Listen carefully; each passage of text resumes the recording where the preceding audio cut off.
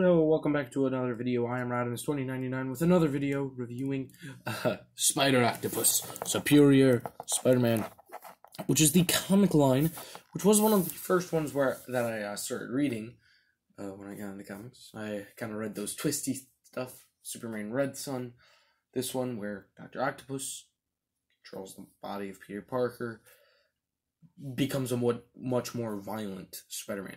And honestly, I do like that. And I love his look. I mean, look at him. Look at him. Look at him. Okay, you're looking at him. He is great. I do have some problems, though. So we're going to get the problems out of the way first. So taking the figure off from his terrible backpack. I'm sorry, these arms are just too spindly. Now, the bigger, bulkier ones don't work either. They just need to learn what they got to do. Put bendy wires in them. I don't want to have this permanent shape because I can't do much with that on the shelf. And then also, they're just way too thin. I don't feel that he could use these to scale walls. He would use them to pick up his dry cleaning. Another annoying thing is the lack of accessories. Now, you could consider these tendrils as accessories, but it is kind of unfair if you think about it. Um, getting that.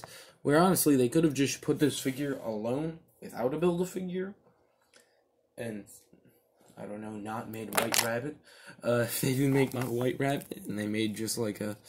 Even if they took like, if they just made a J. Jonah Jameson figure, honestly, I think I would have liked this wave more. Um, but he is nice. His body is fantastic. I love it. Uh, I love the style of his body and his look. But honestly, the arms just ruin it for me. Because Hasbro Smart, they can make the arms look super dynamic and interesting in photos. That way I think that is amazing. Also, giving him just two hands really pisses me off. Because I don't want to just have a clutching hand. I want to have a whipping hand. I want to have another hand. Honestly, if anyone should come with more hands, it's Spider-Man. And if they had to pack this figure separately, I would have been actually even more fine with that, I think. That would have been way cooler. But, you know, things do happen. Stuff happens where they can't obviously do that. I do think that he is fantastic, though. His arms and tendrils really do give that creepy effect to him. And he seems even more sinister if you know his story, if you know his backstory. Honestly, he is a great contender into the Spider Man category, and he's way better than the original one that they made. I do hope that they maybe update that one, because uh, he is cool. So, what do I think about him? He's he's good. He's not great. He's not great. I know this might be a shorter style review, but honestly, I don't know if I can get if I've said anything that's new.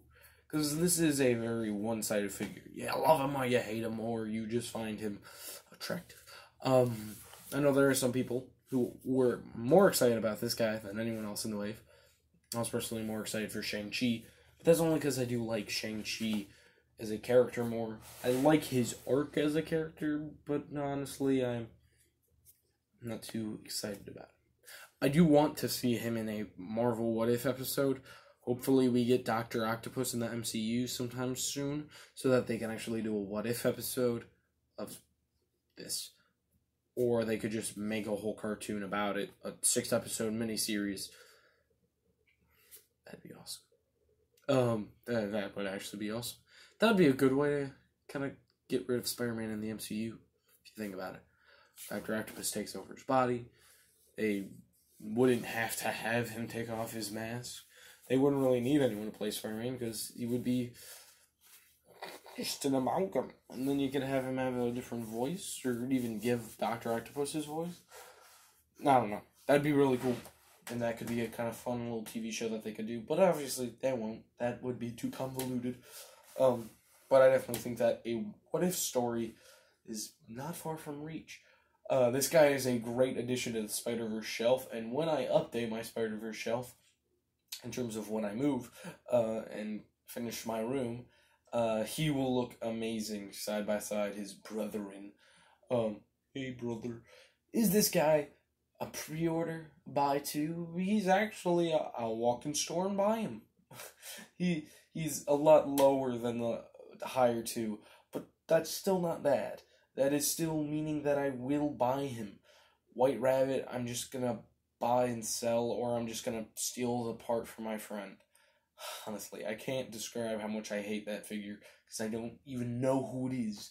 And honestly, it's kind of just a bad sculpt, just bad in general. Just I just don't like it. And also, fuck. Why? Why do we need that? Um. But yes, it is a great addition to the Spider Verse shelf. It will look nice next to your Spider Man because it is a very touch of color, I guess you could say. It's different. It's not just rain, red and blue. It's green. So yeah, that's all I really gotta say. Thank you guys for watching. I've been Rodimus2099. I'll see you in the next video where I review something else.